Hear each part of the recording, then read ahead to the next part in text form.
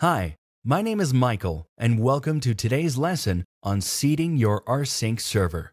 This is the last of five lessons that will teach you how to set up a successful rsync backup. The first time you perform a full backup using rsync, you transfer all your files to the rsync server, often located off-site. If your internet connection is not fast enough to accommodate the large amount of data being transferred, the entire process becomes slow and impractical. So what is seeding? Seeding is the process of backing up data locally using rsync and then physically transporting the backup to your offsite location. Seeding is a faster method for transferring data from your rsync client to your rsync server because it avoids the internet bandwidth issue. Typically, we would always seed our first rsync backup, or every time we enable or disable encryption for an rsync backup job. Today, we'll show you two methods for seeding your rsync server. 1. Bring your rsync server on site to perform the seed. And 2. Seed a permanently off-site rsync server. Let's take a closer look at option 1. This method is suitable for rsync servers that are portable and are not shared among multiple clients.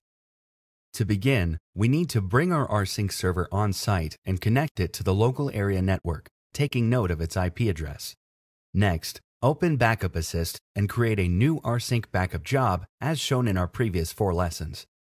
If your backup was successful, move your rsync server back to its permanent location.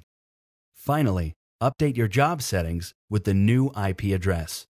Launch the BackupAssist console. Click Jobs from the menu bar. Select your rsync job and click Destination from the left menu. Then enter the new IP address for your rsync server and click Apply Changes. Now let's look at option 2, seeding a permanently offsite rsync server. To do this, we need to seed the data on-site using a USB hard disk drive, which can then be moved to the rsync server and uploaded from there. So let's begin.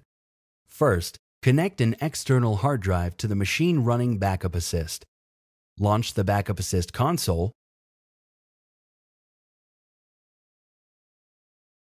Click Jobs from the menu bar.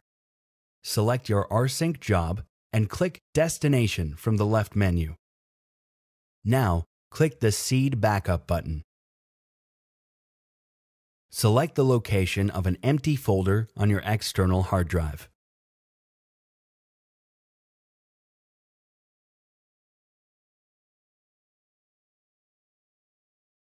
Once the seed is complete, your destination should contain the following 1. A directory with the seeded data. 2. A readme.txt file containing instructions on how to copy the seed to your rsync server. 3. A .sh script file which is used to copy your data to your rsync server. Take the external hard drive and connect it to your off-site rsync server.